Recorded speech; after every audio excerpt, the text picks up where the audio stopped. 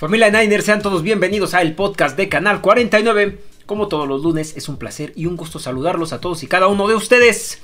Eh, hermanitos, acabó la semana 10 de la NFL. Estamos en la segunda etapa de esta temporada que se está yendo volando.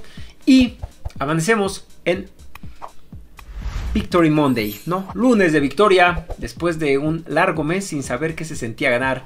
Volvemos a la senda del triunfo, los Niners derrotando a los Jacksonville Jaguars en un juego que me parece que lo dominaron los 49 de principio a fin, ¿no? Este, con actuaciones sobresalientes eh, de ambos lados del campo, eh, con un Brock Purdy que vuelve a mostrarnos a ese Brock Purdy que ya conocíamos, una ofensiva que se mueve, que se mueve bien, por momentos con lapsos ahí medio, medios, eh, no tan buenos, ¿no? De repente me parece que malos llamados de Shanahan, etcétera, etcétera. Una defensa dominante, más que dominante, me parece que arrasadora. Y, bueno, una actuación redonda de los 49. Ahorita vamos a hablar de todo eso. Ya saben que estoy en, en iBox y en Spotify. Ahí me pueden escuchar también mis, mis, podcasts. Si por ahí se les fue alguno, ahí están en la galería. Eh, y, pues si no me pueden ver aquí en YouTube, eh, lo pueden escuchar también ahí en esas redes, ¿no? Eh, ¿Qué más? Pues ahí están las redes sociales, síganme, Canal 49 Oficial en Facebook, Twitter, Instagram y en Twitch solamente como Canal 49, donde hago mis simulaciones. Eh, ¿Qué más? Pues nada, vuélvanse miembros dorados, señores, porque vienen muchos regalos. Tengo que hacer los avisos parroquiales, pero miren, les voy a enseñar todo lo que voy a regalar y faltan cosas. Este banderín que traje desde San Francisco, California, de los 49ers, es una chulada. Ya se lo habían ganado, no lo reclamaron y ya saben que yo doy tres chances y si no me lo quedo yo. Este termo que ya llega a su tercer chance y si no lo reclaman me lo voy a quedar yo. También lo voy a, lo voy a sortear entre los miembros del canal. Esa bandera que tengo ahí atrás, ¿no? Ahí, ahí, colgadilla de los 49ers. Voy a regalar una igualita, una igualita que me regaló el buen Jade Rodríguez allá en California ahora que fui. Una bandera de los 49ers. Tengo una camiseta, para los que han querido su camiseta, tengo una camiseta de Canal 49 que voy a regalar también.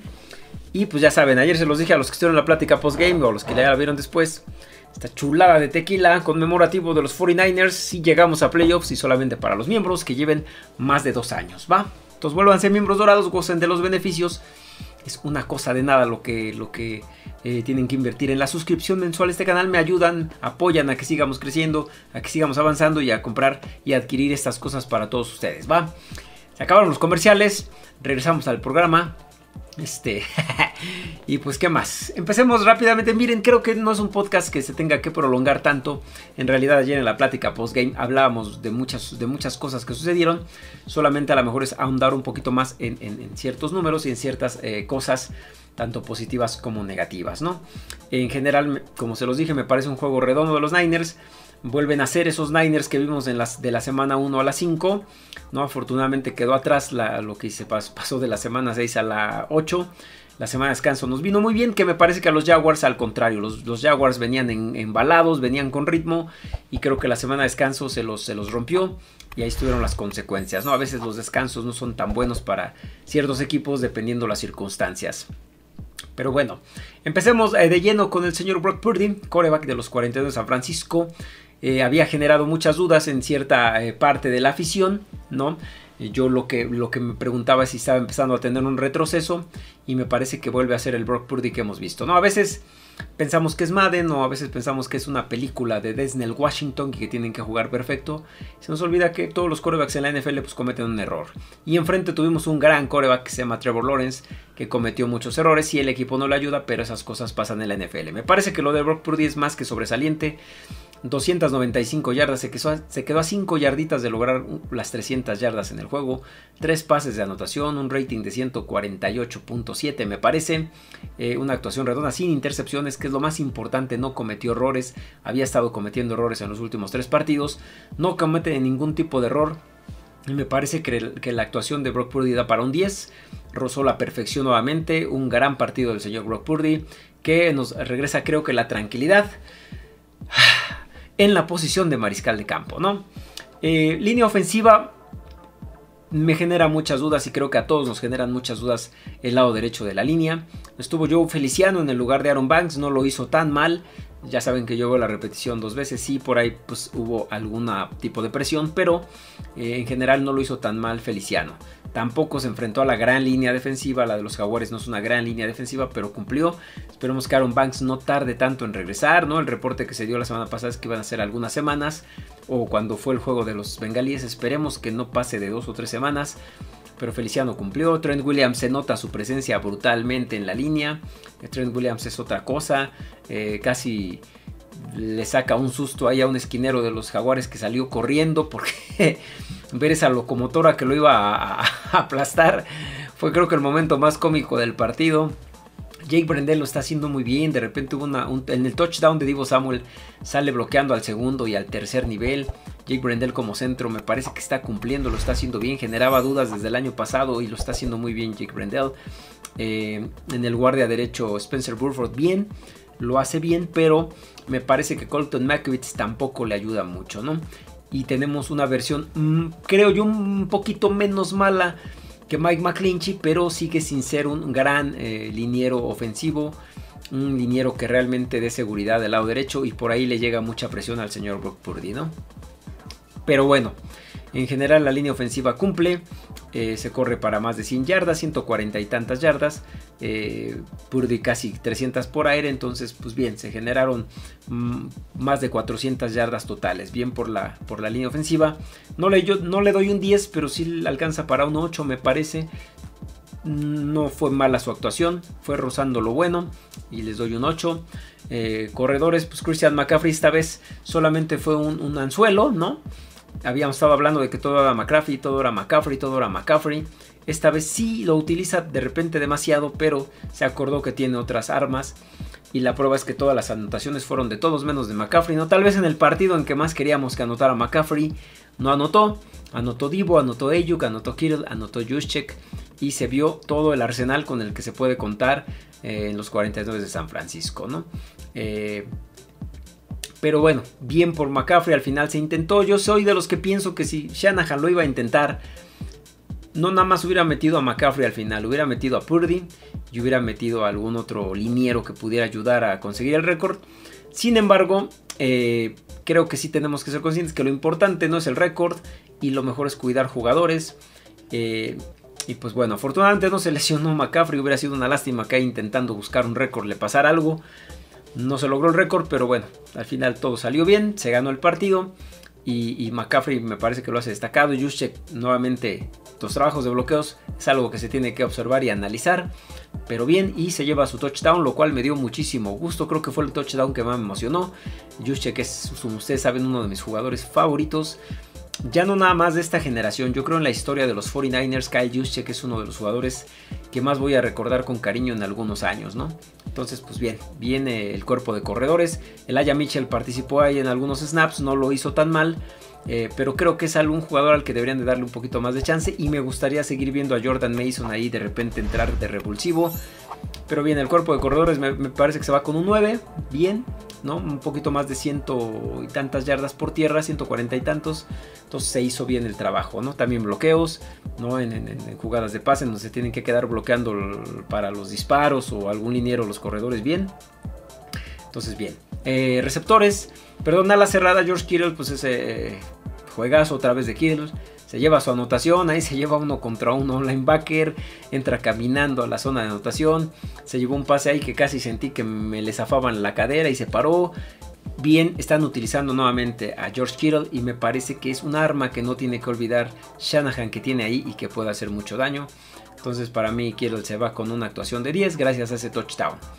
Receptores, se nota nuevamente eh, el la presencia de Divo Samuel. Divo Samuel es un hombre que atrás junto con McCaffrey causa mucho, mucha confusión en las defensas y los pone muy inseguros a pensar a quién, dónde quedó la bolita, ¿no? Pareciera cuando Divo de repente hace estos movimientos pre-snap y pasa corriendo o pasa por atrás del coreback y, hacen, y hace los engaños Purdy pues es este jueguito de dónde quedó la bolita y la defensa tiene que empezar a descifrar por dónde está.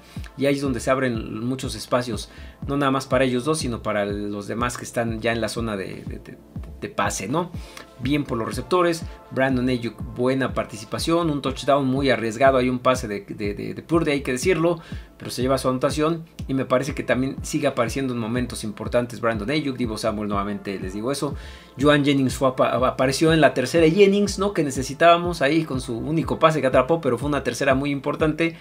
Que nos dan primero y 10. Y al final el último pase de Purdy para eh, Ronnie Bell. Y Ronnie Bell se lo lleva y da ahí un poquito de avance, que es un hombre que espero yo que sigan involucrando un poquito más en el ataque aéreo de San Francisco.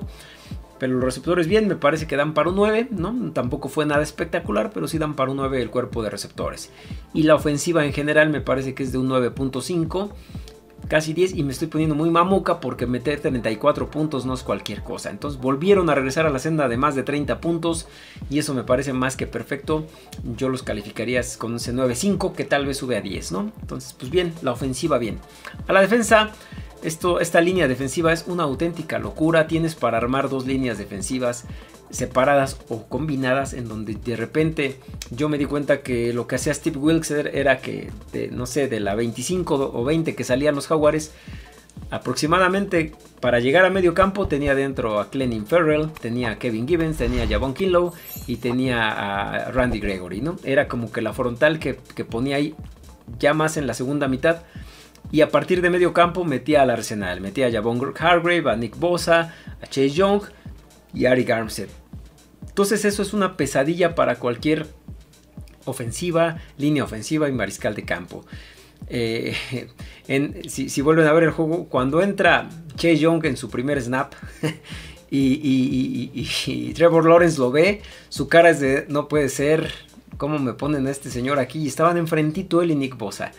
Y es un deleite de veras y es una cosa, es un orgasmo ver a Nick Bosa y a Chase Young en esa misma alineación, ¿no? Que, ya se conocían desde, desde Ohio State.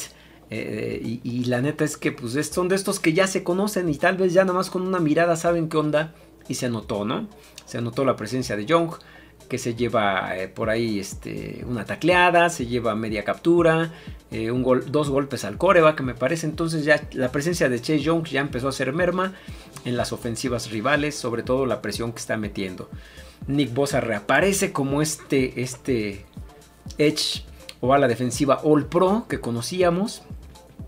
Bateó un pase, se llevó captura y media, provocó un fumble, fumble que él mismo recuperó.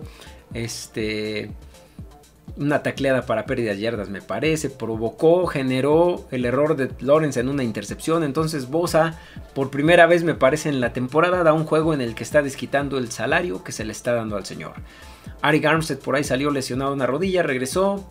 Yo espero que no sea tan grave, pero la presencia de Armstead no se nota y está haciendo lo que en su momento de Forrest Wagner hacía, que es una labor de sacrificio para que los demás se lleven los palmares, ¿no?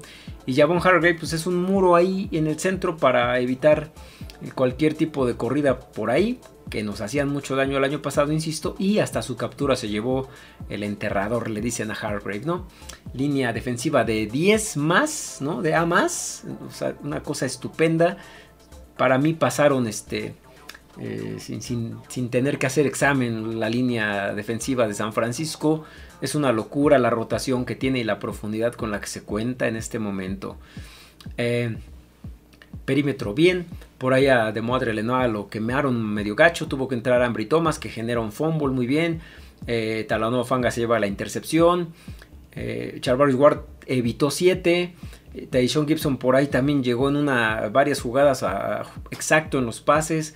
El perímetro, creo que es el juego que más me ha gustado del perímetro en lo que va de esta temporada.